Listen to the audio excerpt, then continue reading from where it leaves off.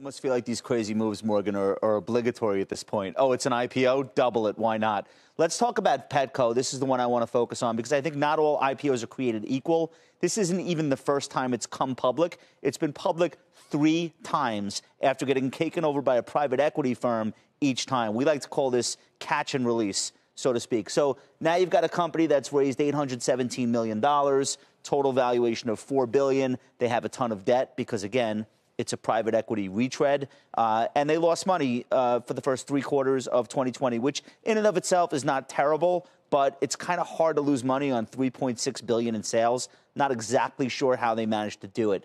Uh, the point I would make is, are you buying it just because it's an IPO, or do you really want to be inv- invested in Petco? So there are other pet investments out there, pet-related investments out there. I want to show you a couple of them. This is Zoetis, was spun out of Pfizer, gigantic company, deals with animal health, both um, both farm animals and companion animals, uh, and does very well. Um, and they sell anti-infective vaccines, other health products. So this is one worth looking at. Has already been a big winner, could continue. Here's Chewy. This is probably a better comp.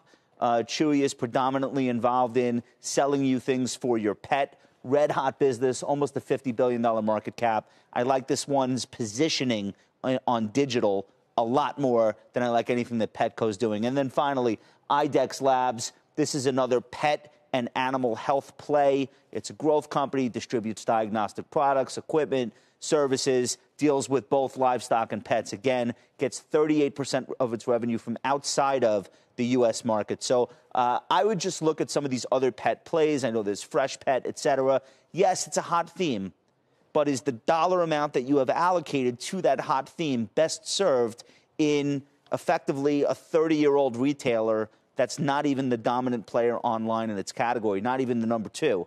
Um, so that's why I would shy away. And by the way, an IPO of 65% just doesn't do it for me anymore, Morgan. I don't get out of bed for anything less than 100% on oh. Ah. IPO day.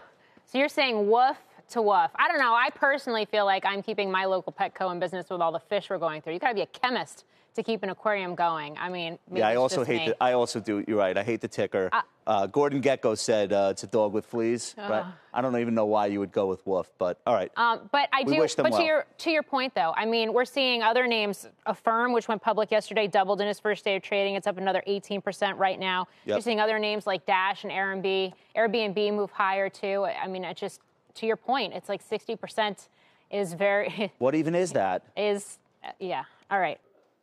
Shepard Smith here. Thanks for watching CNBC on YouTube.